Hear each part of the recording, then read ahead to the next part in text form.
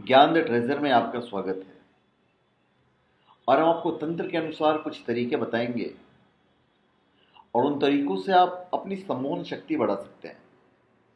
और किसी को सम्मोहित भी कर सकते हैं। आँखें देखकर किसी भी इंसान के मन के भाव और सोच को समझा जा सकता है। इसलिए आँखें किसी के भी व्यक्तित्व को सबसे अधिक प्रभावित करती है।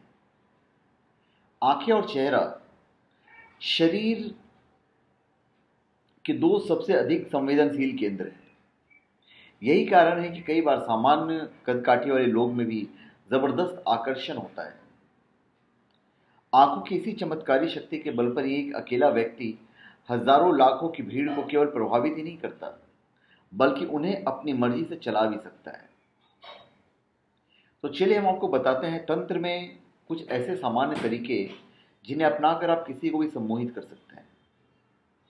पहला मोर पंख के रेशमी कपड़े में मोर पंख को रेशमी कपड़े में बाँध कर जेब में रखने से लोग आपकी तरफ़ आकर्षित होने लगेंगे। फिर जेब में हत्था जोड़ी रखने से भी सम्मोहन शक्ति में ज़बरदस्त वृद्धि होती है। नाभि में इत्र या परफ्यूम लगाने से आकर्षण शक्ति बढ़ती है। केसर का तिलक लगाने से सम्मोहन शक्ति पैदा होती है। फिर श्वेत अपमार्ग, आंधी झाड़। उसके जड़ को घीस कर तिलक करने से आकर्षण शक्ति बढ़ती है। आँखों के मध्य एक लाल बिंदी लगाकर यहाँ पे देखिए। इससे आप में ज़बरदस्त आकर्षण शक्ति पैदा होने लगेगी।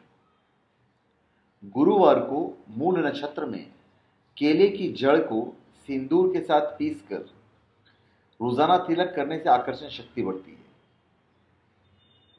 फिर गेंदे के फूल पूजा की थाली में रखकर हल्दी के कुछ छींटे मारे और गंगाजल के साथ पीस कर माथे पर लगाइए। इससे आपकी आकर्षण शक्ति बढ़ेगी।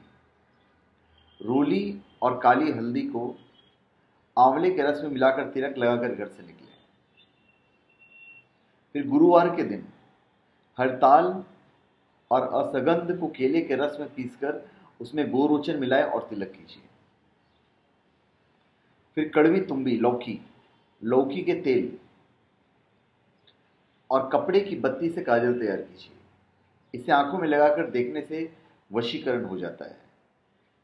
तो धन्यवाद। आप हमारे चैनल पे सब्सक्राइब करें और अपने कमेंट दीजिए। धन्यवाद।